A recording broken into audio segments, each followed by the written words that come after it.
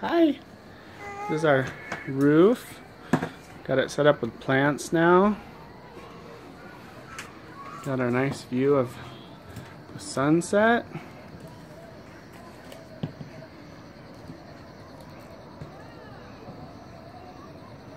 There's Lake Abaya, second largest lake in Ethiopia.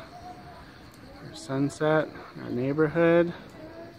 There's Jesse at the table, measuring. And we have a place here for a nice morning quiet time. Put up our ladder to get up on the roof. Our Christmas lights. And the moon.